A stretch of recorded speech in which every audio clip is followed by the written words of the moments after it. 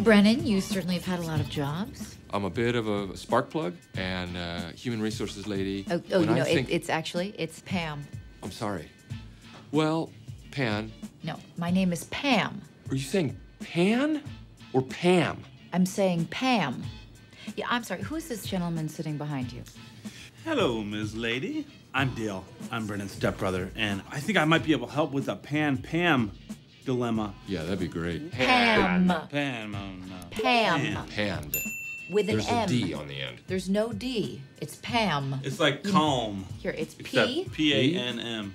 M. N Yeah, N. yeah. Two M's. Two M. That was the confusion. No, there's just one M. What do you say we interview you? Uh, all right, yes, that's a uh, sometimes useful exercise. Please put your hand down.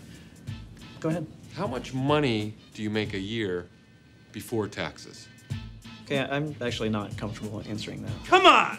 We're doing the interview now, not you. Okay, here's a shot out of a cannon. Oprah, Barbara Walters, your wife. You gotta fuck one, marry one, kill one. Go!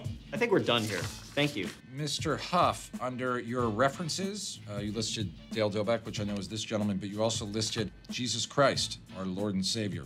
Yeah. Yeah, we, we are looking for people we can contact. We wanna tell you the stuff we're not good at, Our weaknesses. so we're clear up front. Okay. We're not generally comfortable in an office setting, I would say. I get cooped up. I won't go into an office that's ever been used before. I am no good before 11 a.m. I also get headaches from computers, so I can't be around them for too long. I take stuff.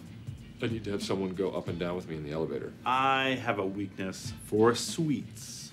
Other weaknesses? We're slow learners, and we're not particularly good listeners. That'll be uh, that'll be a huge problem. We're also slow learners.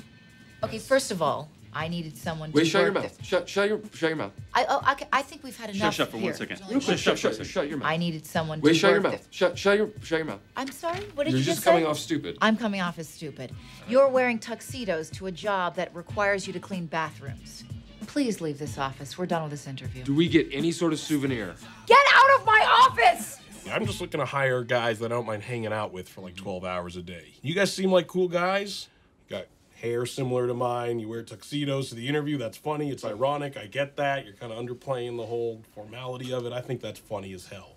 So let's do this. You know, you guys are hired. You're in, you know, unless you're like the weirdest guys ever and I don't see it. Great.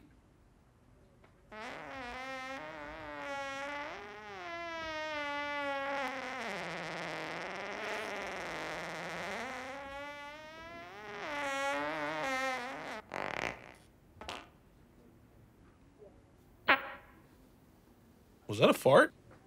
I don't know. I can taste it on my tongue. Okay, I, I'll be honest with you. I did fart. Is that onion? Onion and onion and ketchup. It stinks.